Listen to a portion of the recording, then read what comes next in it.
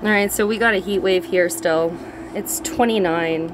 It's crazy. Or it's 85 Fahrenheit for you Americans. I'm not converting, I have a button for that.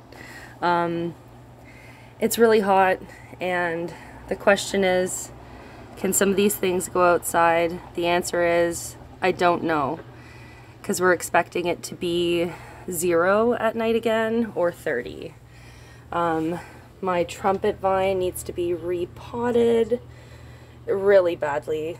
Um, I'm going to do a little video later on all of the the roots that have come up on this thing. It's madness. It's loving the heat. These are the temperatures that it would normally bloom in. That's June temperatures that we're getting in April. So it's pretty rough for us here. We usually hibernate in temperatures that are above, you know, 28. We don't do well in the heat here in southern Ontario or in Canada. We like winter. um, but the plants are happy because they think it's summer.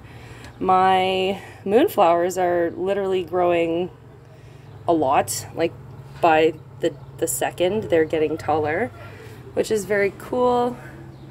My fuchsia is even crazier than it was a couple of days ago. It's got so many flowers. It's like, I'm ready for hummingbirds.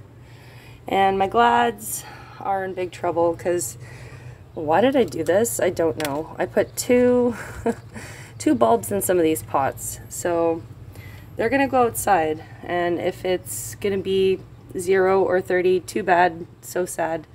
But yeah, they're reaching um, quite a substantial length there.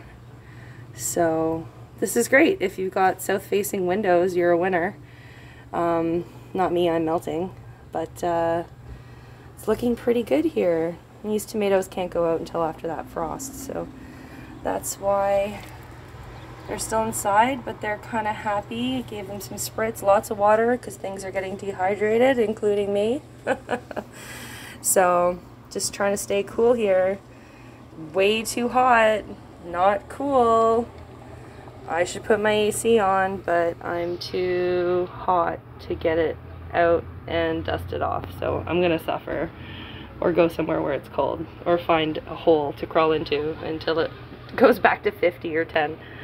Anyways, that's what's going on. These glads are going outside. They're too big. Oh well, it's time. Look, like, it, they're crazy big. Alright, stay cool everyone. Keep an eye out for those rubies.